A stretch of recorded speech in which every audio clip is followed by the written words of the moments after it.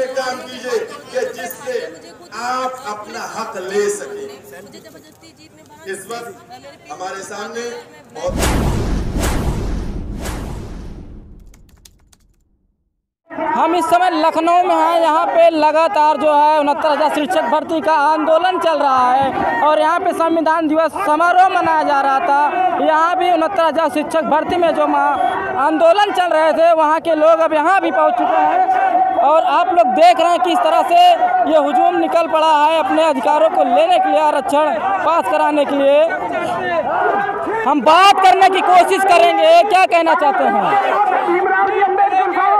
क्या कहना चाहेंगे इस महाघोटाले के बारे में? ये महाघोटाला उत्तर प्रदेश के अभी तक सबसे बड़ा महाघोटाला है, जो कि बीजेपी सरकार के द्वारा किया गया है। और इस घोटाले के तहत जो बीस हज़ार सीटें हमारी इस भाजपा सरकार ने खाई है उसके लिए पाँच महीने से इको गार्डन में आंदोलन आंदोलनरत है और अब हमारा आंदोलन सड़कों पे निकल आया है और जब तक हमें न्याय नहीं मिल जाता, हम लखनऊ की धरती को छोड़ के नहीं जाने वाले हम अपना अधिकार लेकर रहेंगे काफ़ी लंबे समय से आंदोलन चल रहा है और लगातार आंदोलन चल रहा है। यहाँ पे महिलाएँ हैं, महिलाएँ से बात करने की कोशिश करेंगे।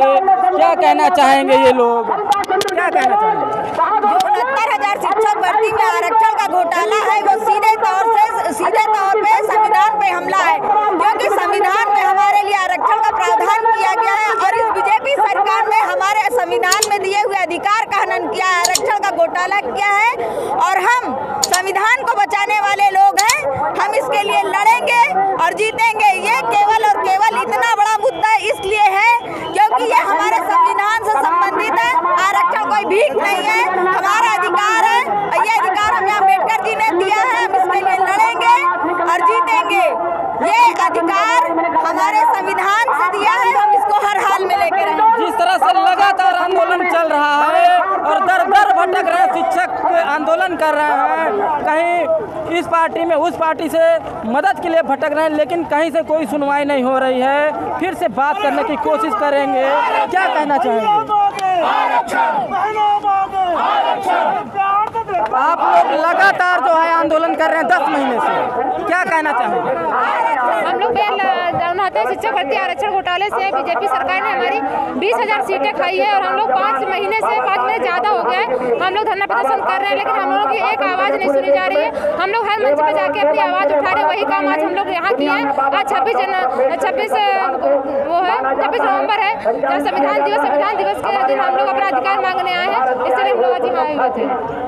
आंदोलन वाले लोग जो है मायावती से भी मिलने गए थे। वहाँ पे क्या आश्वासन मिला ये भी बात करने की कोशिश करेंगे। क्या मैसेज मिला उधर? मायावती जी ने हमारी बातों को सुना और उन्होंने कहा अगर हमारी सरकार। वो इसमें हमारे साथ हर तरह से खड़ी है। उन्होंने कहा है कि हम हर स्तर पर अपनी कोशिश करेंगे। हम बहुजन समाज के साथ खड़े हैं। ये जो उनहत्तर हज़ार में घोटाला हुआ है हम इस इसकी हर तरह से जाँच करेंगे और आपको न्याय दिलाने दिलाने का पूरा प्रयास करेंगे। और उनकी सरकार आते ही हमारे आज आपने देखा होगा। मंच से माया अखिलेश जी ने भी बोला है कि अगर हमारे लोगों के साथ में जो अन्याय हो रहा है अगर हमारी पार्टी आती है हालत तय है तो वो आने के बाद सबसे पहले हमें न्याय दिलाने का कार्य करेंगे।